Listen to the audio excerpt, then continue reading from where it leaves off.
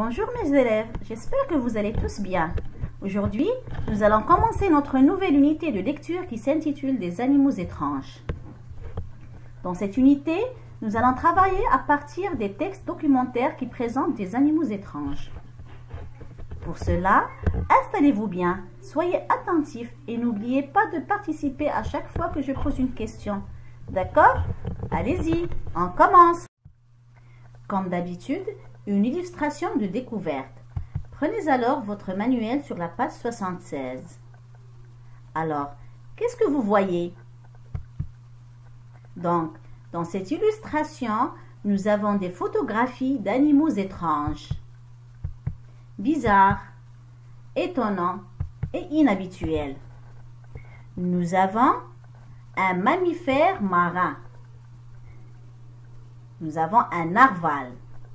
Nous avons aussi deux mammifères terrestres, qui sont l'ocapi et le tarsier. Nous avons un insecte qui est une fourmi panda et un axolo qui est un amphibien. Donc, ce qu'est un mammifère. Donc, un mammifère, c'est un animal qui respire par des poumons dont les femelles allaitent leurs petits à la mamelle.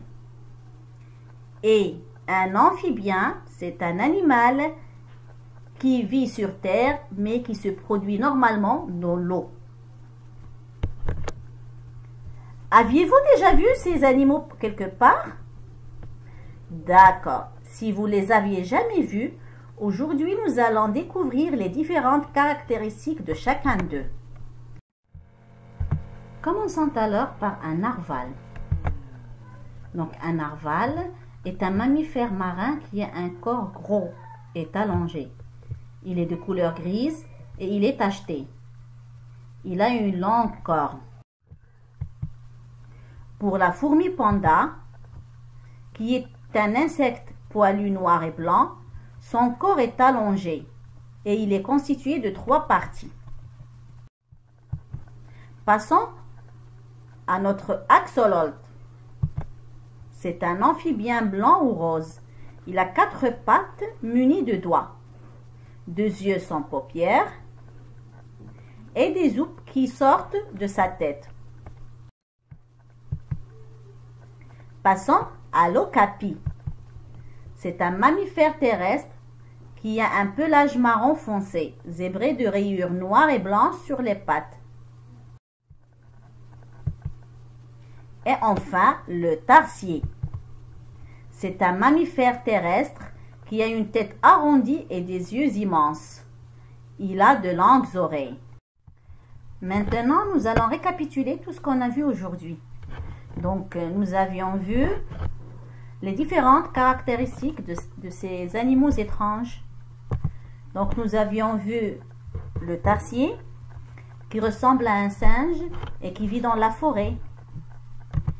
Nous avions vu aussi l'ocapi qui nous fait penser à un âne et qui vit dans la forêt aussi. Regardez l'oxolol qui ressemble à un lézard. Celui-ci vit dans les lacs. Et la fourmi panda qui ressemble à la fois à la fourmi et au panda et qui vit dans la forêt aussi. Et enfin, le narval.